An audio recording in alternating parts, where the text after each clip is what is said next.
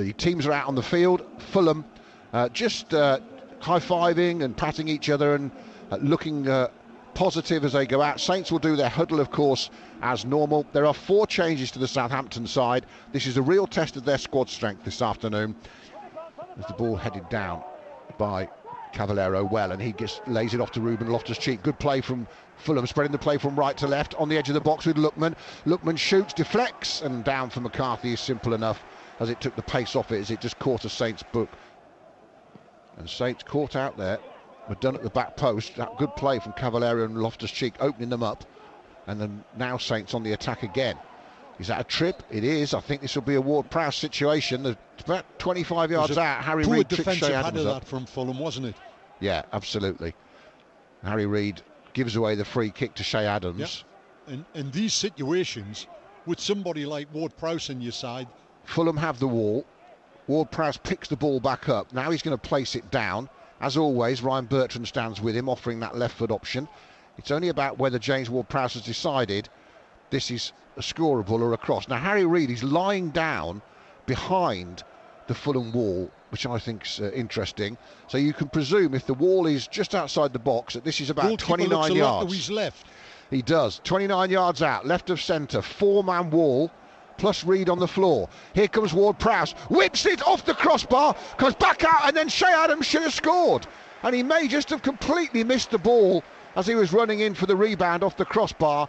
But Ward Prowse comes as close as anyone to getting a goal in this game. It remains nil nil, but that, Dave, was almost perfect once more from the skipper. Oh, he's, uh, he's tremendous. And I did say, uh, for me, He's the best at taking dead ball situations just around outside of the box, around the D. He smacks that one. It hits hits the bar. It comes back. Oh, and, and Adams misses it, well, Dave. I don't know. I don't know what happened there. Adams seemed to come in, and the ball's bounced for him awkwardly, and he's not been able to get a hold of it. Walcott's now into that deep position, and he's running at the Fulham defence. Central, pushed to his right slightly, and then he just stumbled. Almost got his foot caught in the turf, I think and that was a gimme because Walker Peters was offering him on the right. Diallo's trying to fill in there, but he hasn't got back in time to stop Robinson crossing it from the left. Free header, oh. and it's gone over the bar. And really, Ivan Cavaleiro should have got that on target.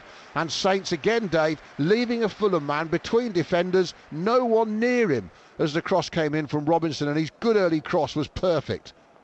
You just feel the team that can get that, that breakthrough. Yeah longer this goes on, it's got 1 0 written all over it. But can Saints nick it? Get a Boxing Day win, go for that record 10th win in a row against promoted sides. Good header forward towards the edge of the box. Adams trying to control it. Shane Long will hit it, and Areola has to turn that over. First real save they forced out of the Fulham goalkeeper. Terrific drive from Long from about 20 yards out as Adams held it up. It was nodded down in Long's path, and he's volleyed that right above the keeper's head. He only had to flick it with his hand as Bednarek sends it forward. Diagonal long ball. It's a good one as well. First time cross got a Fulham deflection. There's appeals for a handball from Bertrand, who's disappointed his good cross was blocked. But he's not getting that off the referee. And Anthony Robinson brings it forward for Fulham. Into feet. It wasn't an easy ball. Lookman had to deal with it under pace. Stephens isn't going to get there ahead of Anguissa, who's charging forward down the left, looks up from the edge of the box, checks onto his right foot, crosses it, and that was an important clearance for Saints from Ryan Bertrand, who tucked in this time. Now the cross comes in from the right. Header away only finds Lookman. Thinks about curling the shot. Maybe should have done, and he does, and it deflects off the head and goes just past the post off Bednarek for a corner. The referee's having a, a view looking for a handball Saints. They're going back to the VAR that Bertrand appealed for. And it, we, we're watching a replay here, everyone. Ball in, definitely hits the hand of the defender, Aina. The decision will be was it in a natural position? Oh, it is a corner. Play on, corner to Fulham. Well, I in think towards Fulham McCarthy. there, Adam. Yeah. But uh, this time Cavaleiro can't hold it up, so Saints win it back. Now, can Saints have a period of pressure on the Fulham penalty area? Haven't really had a sustained period, Dave, in the game, have they? As it gets put in early down the left from Bertrand. Onside and a shot and a volley.